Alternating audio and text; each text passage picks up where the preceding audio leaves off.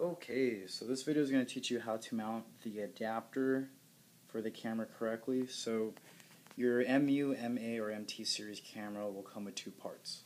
The first part, uh, the top part, this is this, um, the camera part that has the sensor, and the long tube that's attached to it. This is called the reduction lens. Now we also sell a part uh, that we call the AD-C20, which is also a reduction lens, but it's of a different uh, different type and sometimes it gives you a better field of view when using our MU series camera. So basically, if you're attaching it to uh, an SM microscope like this one, this is a, a stereo zoom microscope, um, some of them come with a trinocular head.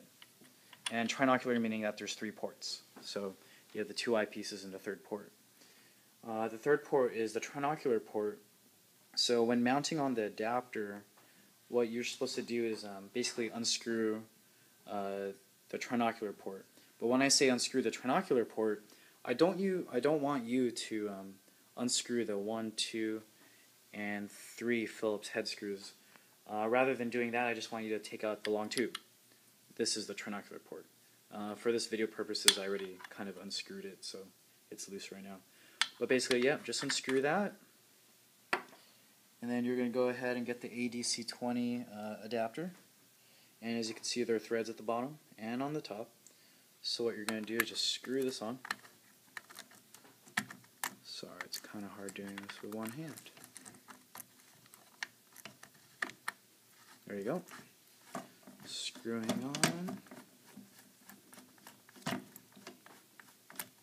So that's part A. Part B is unscrewing the uh, reduction lens from the camera. And for video purposes, again, I already unscrewed it.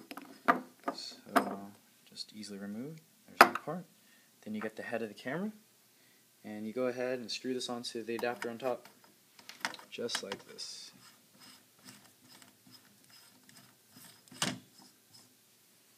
And make sure those two are secure. And there you go. You have the AD-C20 attached to the MU series camera. But again, this will also work for the MT and MA series camera. All right. You guys have a good one. Bye bye.